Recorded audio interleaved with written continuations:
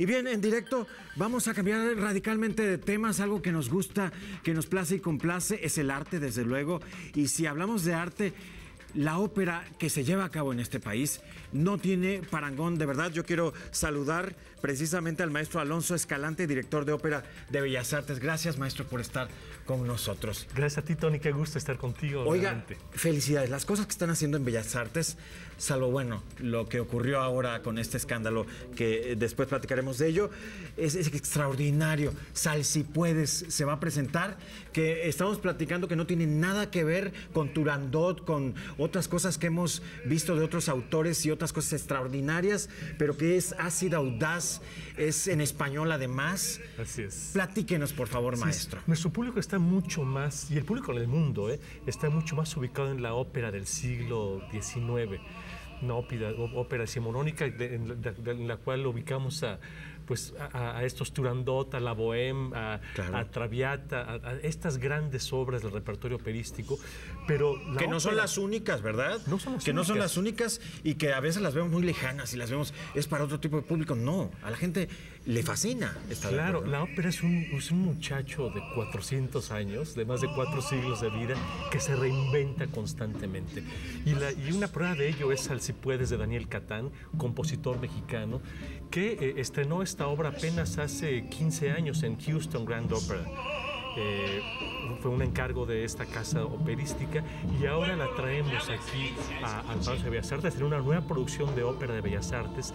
Como ya decías, una ópera cantada en, en español, en nuestro idioma, una ópera con, con ritmos cadenciosos, con, con, eh, eh, melodías eh, eh, caribeñas, con, con una dotación orquestal muy diferente, percusiones, muy diferente a todo esto que el mundo ubica como la gran ópera y que sin embargo es ópera también. Maestro, ¿por qué?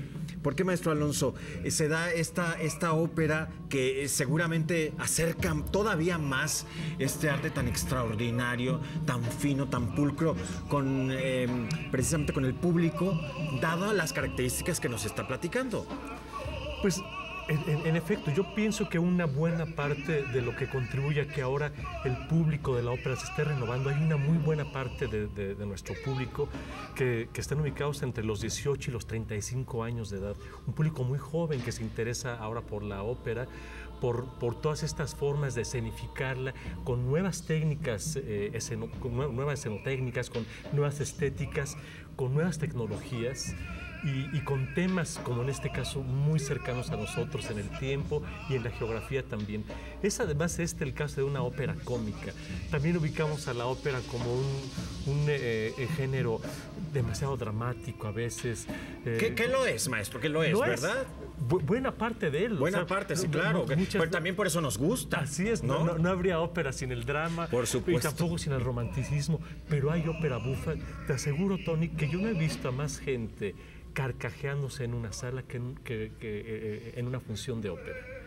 Sí. Las óperas rossinianas. Porque, por porque yo lo- lo- lo- las oportunidades que he tenido, maestro, yo lloro, tengo que confesarlo. Claro, eh, eh, te ha tocado ver es- esas otras óperas. Sí, claro, la- las he visto casi todas, pero, pero no me ha tocado algo como Sal si puedes y me parece interesantísimo que se lleve a cabo, que se vayan a, van a ser cuatro, Cuatro funciones, funciones. ¿verdad? ¿Cuándo serían, Cuatro maestro? funciones. La primera la tendremos ya el próximo domingo 26 de mayo, 26, 28, 30 y 2 de junio.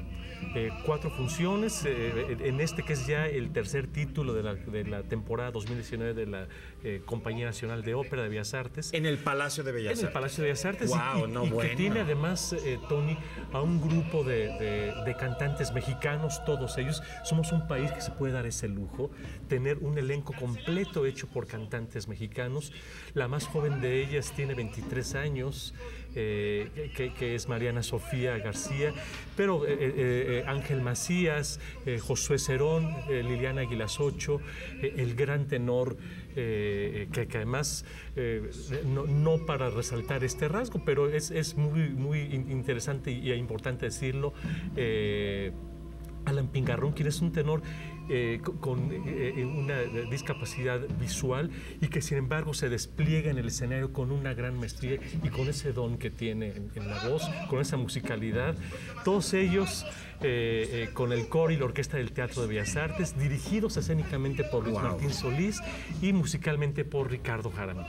Oiga, maestro, tuve la oportunidad de ir a ver Giselle con la Compañía Nacional de Danza de Bellas Artes. ¿Qué cosas más bellas está haciendo de verdad el instituto? Yo quiero, quiero de verdad felicitarlos. Ojalá y, estas cuestiones que se habla de presupuestos y todo no, no alteren de verdad lo que se está haciendo porque yo creo que nos coloca a muy buen nivel a nivel eh, mundial, ¿no, maestro? Absolutamente. Eh, te puedo asegurar, Tony, que en ópera eh, lideramos por lo pronto el subcontinente latinoamericano, pero Bellas Artes es un teatro al que voltean a ver desde todas partes del mundo. Tienen que hacerlo. Por su tradición, recordemos que aquí buena parte de la carrera de María Calas se propulsó desde, desde, el Palacio de Bellas Artes. El debut operístico de Plácido Domingo fue en el Teatro de Bellas Artes. Y bueno, toda esta tradición que tiene ya eh, pues más de un siglo, casi dos siglos de, estarse eh, eh, fomentando, estar creciendo, estarse desarrollando, tiene ahora uno de sus puntos cúlmenes, seguramente en la historia de, la ópera de nuestro país. Y bueno, pues es, esta eh, Salsipuedes es una ópera que vale la pena ver que vale la pena eh, que se acerquen nuestros amigos que todavía le tienen miedo a la ópera, que piensan que es algo eh, aburrido, serio, viejo. lejano y, y, fifi. Y nada que ver no, nada que ver, es, es extraordinario. Y Sal, si puedes, promete y promete muchísimo. Rápidamente, los, las fechas: 26, 28 y 30 de mayo, domingo, martes y jueves, y el domingo 2 de junio también. Ahí vamos a estar, maestro. Ahí espero Y muchas felicidades y qué bueno que Bellas Artes sigas cumpliendo con su labor para la cual fue creado y que el Palacio de Bellas Artes siga siendo y haciendo lo que debe, ¿verdad? y no eventos religiosos como, bueno, ya sabemos por ahí. Gracias. Muchas gracias, maestro Alonso Escalante, director de ópera de Bellas Artes. Y nosotros vamos a hacer una pausa comercial. Usted no le cambie. Regresamos.